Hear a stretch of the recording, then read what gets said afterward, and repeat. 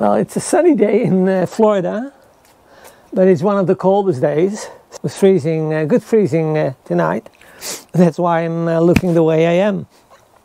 I was working on my battery, uh, and as a consequence of that, I bought two long-standing things that I needed to, to have, uh, and that is, first of all, I wanted to change my existing MPPT, my solar charge, solar controller. So I got a Victron now, which is specifically uh, for lithium, or amongst others, but uh, and a Orion Smart DC to DC uh, converter. Uh, both of them will be uh, installed in here.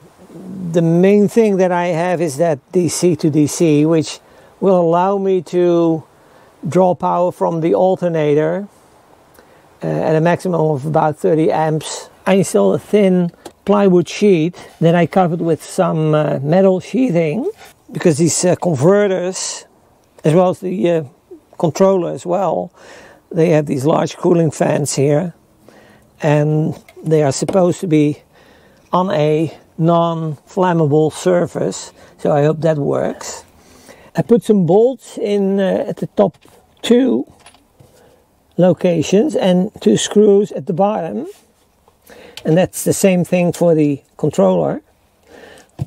That's a DC to DC converter. So let me see. Now I will be able to get this washer in place now I will be able to slide it in on one side. Yep. And then bolt it on on the other side.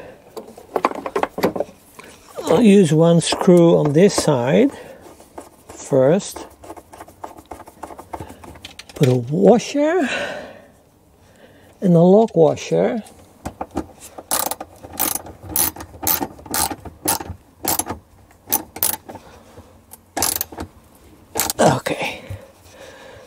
That's like a rock. That's one. Then I got my solar controller.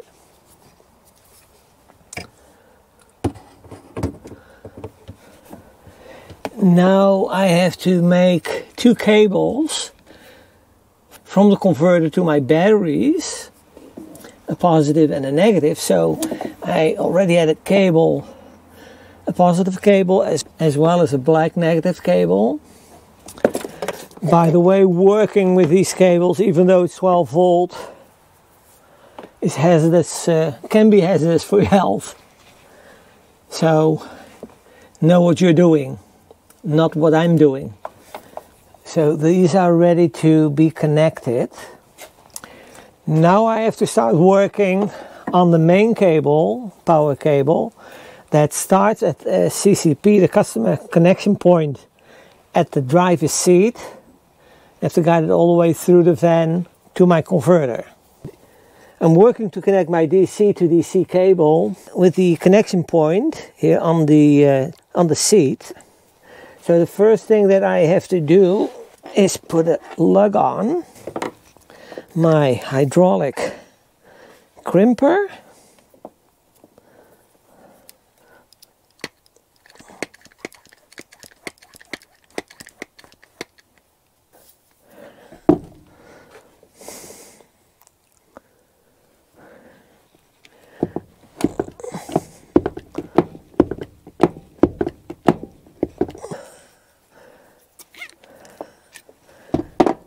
and it always gives me a good connection. That's one of the nicest tools that I've bought, although I don't use it that often. This is the extension of my uh, CCP, and then that's connected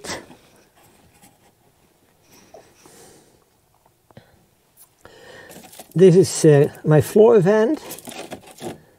And now I have to reinstall this and connect the uh, other end of the cable to the converter.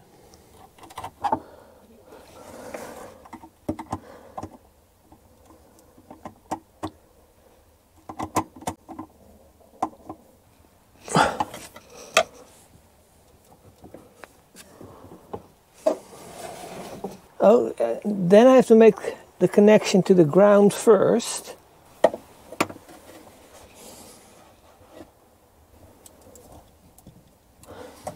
Okay. You have to remember that everything is disconnected, so I'm playing it safe. And before I connect the positive to the batteries, I'll have to check out my app. It's not connected yet to the batteries, but since it has power from the starter battery, the, the car battery, I was able to get a connection on my Bluetooth connection on my phone. Oh, it's connecting now. Oh, there's a firmware update, so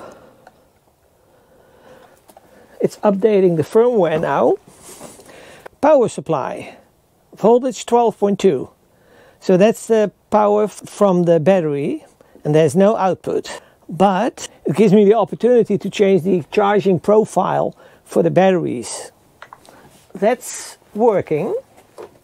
Now I have to make the final connection to the batteries.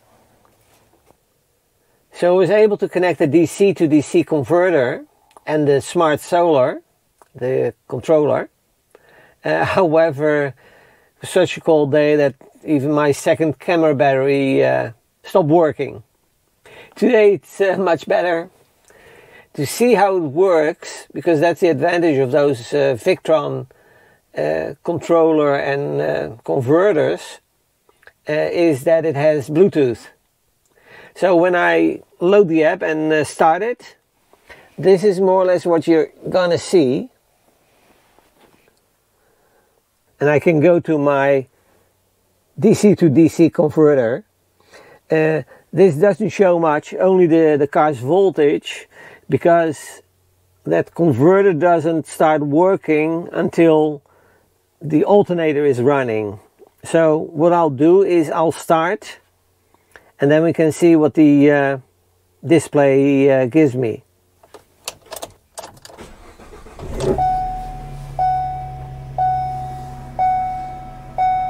You see it uh, changing.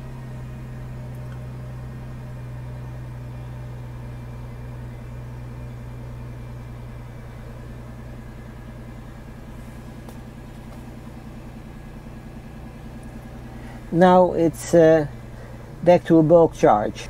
You see that the uh, starter battery is uh, at 14.0 volts and the charge towards the lithium batteries, the house batteries, is about 13.6 volts.